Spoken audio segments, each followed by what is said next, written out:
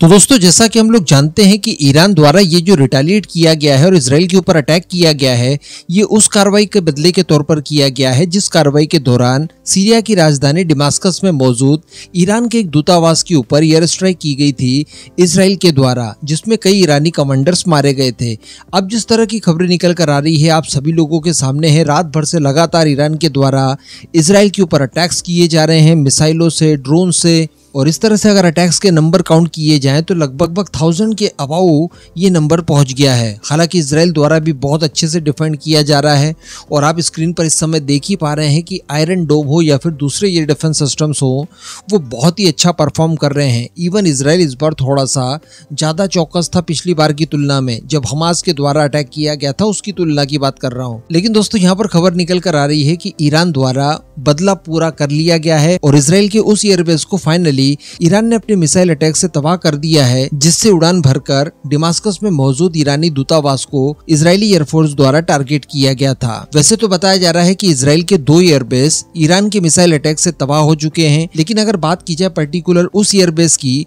जो कि नेगेव के रेगिस्तान में मौजूद था, और यहीं से उड़ान भरकर डिमास्कस में मौजूद ईरानी दूतावास के ऊपर अटैक किया गया था,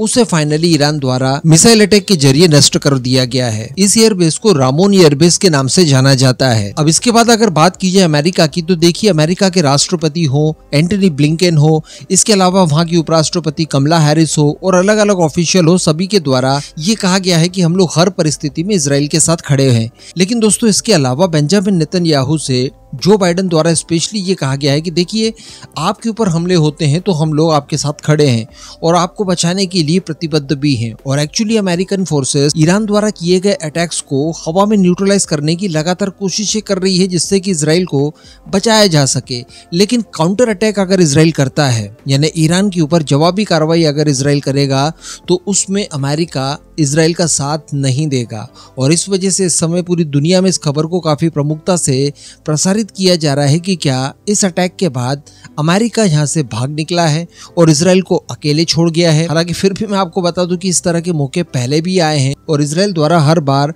अमेरिका को मजबूर कर ही दिया जाता है कि वो हर परिस्थिति में इसराइल के साथ बने रहे, क्योंकि अमेरिका की भी कई सारी कमज़ोर नसें इसराइल के पास मौजूद है। लेकिन मेरे हिसाब से यहाँ पर ईरान को भी अपनी पब्लिक को दिखाने के लिए एक जोरदार अटैक करना था रिटेलिएट करना था, ताकि उनके ऊपर भी जो पब्लिक का प्रेशर पड़ रहा था कि इसराइल को आप कुछ ही नहीं कह रहे हैं, हर मामले में उसे छोड़ दे रहे हैं, इसी के जवाब में ये अटैक किया गया है। ईरान का भी मुझे नहीं लगता कि कोई लंबा चौड़ा युद्ध लड़ने का कोई इरादा यहाँ पर हो सकता है। अपनी पब्लिक को दिखाने के लिए उस एयरबेस को फाइनली उन्होंने तबाह कर दिया, जहाँ से इसराइली एयरफोर्स द्वारा उड़ान भर के उनके दूतावास पर अटैक किया गया था। और ये अब पूरा ही हो गया है। अगर मेरे ख्याल से यहाँ पर थोड़ी बहुत बातचीत कर ली जाएगी तो शायद युद्ध रुक भी सकता है। बाकी इस पूरे मुद्दे पर आपका जो भी मानना हो, नीचे कमेंट करके ज़रूर बताइएगा।